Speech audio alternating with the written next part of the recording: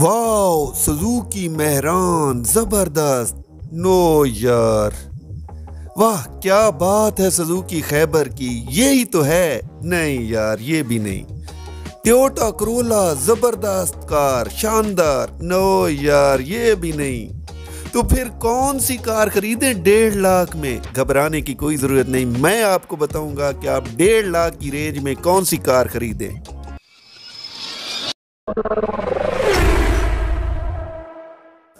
अस्सलाम वालेकुम दोस्तों, आपके पास डेढ़ लाख रुपए का बजट है और डेढ़ लाख रुपए के बजट में ही आप कोई कार ख़रीदना चाहते हैं और आप परेशान हैं कि डेढ़ लाख रुपए में हम कौन सी कार ख़रीदें तो घबराने की कोई ज़रूरत नहीं। मैं आपको आज बताता हूँ कि डेढ़ लाख रुपए में आप कौन सी कार ले सकते हैं और अपना गुजारा चला सकते हैं। तो सबसे पहले मैं आपको बताता चलूँ कि काफ़ी सारे कारें हैं जो तकरीबन दो लाख से नीचे नीचे मिल जाएँगी, लेकिन उनकी जो कंडीशन होगी वो बहुत ही रफ़ होगी, बहुत बहुत ही यूँ समझ लें कि उन पर बहुत ज़्यादा अखराज करना पड़ेंगे। जैसा कि मैं आपको बताता हूँ कि टोयोटा करोला अगर आप लेंगे तो वो दो लाख से अगर नीचे की कोई मिलेगी तो उस पर आपको बहुत सारा खर्चा करना पड़ेगा। दूसरे लफ्ज़ों में वो आपको बीमारी ही मिलेगी, क्योंकि टोयोटा करोला की इस वक्त जो छियासी की, बयासी की यासी की जो कीमत चल रही है, वो दो लाख से ऊपर ऊपर चल रही है। सही चालू जो कार है, वो आपको तीन लाख, पौने तीन लाख में मिल सकती है।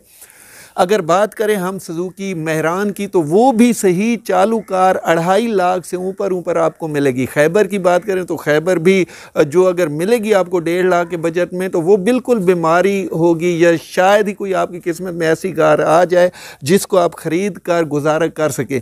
लेकिन ये मैं आपको बताता चलूँ कि अगर आप सजूकी खैबर के शहदाई और आप चाहते हैं कि सजूकी खैबर ख़रीदें तो सजूकी खैबर का ये ख्याल रहे कि वो इंजन और फ्रेम के हवाले से बिल्कुल टाइट होनी चाहिए, बाकी ऊपर की कंडीशन भले ही ना हो, उस पर डेंटिंग पेंटिंग करवा के आप थोड़ा सा खर्चे करवा के उसको बहुत बेहतर बना सकते हैं। उसके बाद फिर बारी आती है शराड की। शराड भी आपको महँगी मिलेगी, वो भी इतनी सस्ती नहीं है, उसके भी काफ़ी रेट्स हैं जो अच्छी कंडीशन में है, जो बिल्कुल यूँ समझ लें कि बिल्कुल लोअर दर्जे की जो कार होगी, वो शायद आपको डेढ़ पौने दो लाख में मिल जाए, लेकिन उस पर फिर भी अखराज करवाना पड़ेंगे। तो यहाँ पर जो बेस्ट ऑप्शन है, वो है सजुकी एफ़ एक्स इस वक्त सुजुकी एफ़ एक्स की जो प्राइसेस हैं, वो एक लाख से लेकर दो लाख के दरमियान चल रही हैं। अढ़ाई लाख डिमांड की जाती है। अच्छी कंडीशन की कार की जो डिमांड की जाती है, वो अढ़ाई लाख की जाती है, लेकिन दो लाख में मिल जाती है। जो दरमियाने दर्जे की कार है, वो आपको डेढ़ लाख रुपए में ईजीली मिल जाएगी, जिस पर कोई ख़ास अखराज नहीं आएँगे। अगर आप एक लाख रुपए वाली एफ़ एक्स कार लेंगे तो उस पर अखराज बहुत ज़्यादा आ जाएँगे। तो कोशिश करें कि देखभाल करके अच्छी कंडीशन वाली जो है, डेढ़ लाख रुपए मालियत की कार ख़रीद लें, लेकिन उसको अच्छी तरह देखभाल कर ख़रीदें। एक बात याद रहे कि जो एफ़ एक्स कार है, वो 16 किलोमीटर 16 किलोमीटर फ़ी लीटर से लेकर 20 किलोमीटर फ़ी लीटर तक आपको फ्यूल एवरेज देगी। बहुत आला दर्जे की एवरेज अगर देती है तो वो सुजुकी एफ़ एक्स है। अगर आप अच्छी कंडीशन की एफ़ एक्स ले लेंगे, थोड़ा सा ज़्यादा खर्चा कर लेंगे, बीस तीस हज़ार, अगर पौने दो लाख में अगर अच्छी कंडीशन की एफ़ एक्स ले सकते हैं तो वो बहुत बेहतर है। अगर इंजन ज़बरदस्त होगा कार का तो वो फ्यूल एवरेज एवरेज आपको बहुत ही ज़बरदस्त देगी, आप खुश हो जाएँगे। तो सिर्फ़ ये ख्याल रखें कि आप इंजन और फ्रेम का ख़ास ख्याल रखें। अगर ऊपर से बॉडी की कोई डेंटिंग पेंटिंग मांगती है तो वो कोई इशू नहीं उस इलाके से आप डेंटिंग पेंटिंग बाद में करवा सकते हैं पैसे आने पर।